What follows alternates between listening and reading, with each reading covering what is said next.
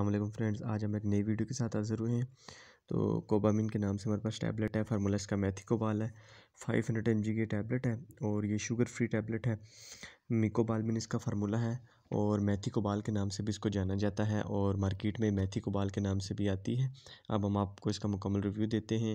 ये टैबलेट जो है एक डब्बी के अंदर दस पत्ते आते हैं, टेन स्ट्रिप्स आती हैं एक डब्बी के अंदर और ख़ास तौर पे जो है ना ये टैबलेट बहुत ज़्यादा शुगर के पेशेंट यूज़ करते हैं जिनको पट्टों का खिंचाव बहुत ज़्यादा रहता है। एक तो ये शुगर फ्री भी है और दूसरा ये है कि जिन लोगों को सबसे ज़्यादा पेन रहता है पट्टों में खिंचाव रहता है जिसम उनका काम नहीं करता तो ये हमने एक पता, एक स्ट्रिप आपको निकाल के दिखा भी दी है। बैक साइड से भी आपको दिखा देते हैं। कोबामिन के नाम से आ रही है मैथिकोबाल फार्मूला इसका। तो जिन लोग के हाथ पाँव बहुत ज़्यादा सुन होते हैं उनके लिए बहुत ज़बरदस्त चीज़ है ये, ख़ास तौर जिनके शुगर के मरीज़ हैं, पट्ठों में खिंचाव रहता है, दर्द होता है जिसम में, ठीक है?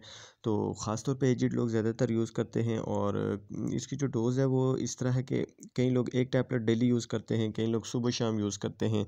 फिर इसकी सिचुएशंस होती हैं कि ज़ाहिर सी बात है हर पेशेंट की अपनी सिचुएशन के मुताबिक है। कई लोग एक हफ़्ता यूज़ करते हैं, कई लोग तीन हफ़्ते यूज़ करते हैं, कई लोग एक मंथ यूज़ करते हैं, कई लोग एक टैबलेट रोज़ाना यूज़ करते हैं, कहीं जो है सुबह शाम यूज़ करते हैं।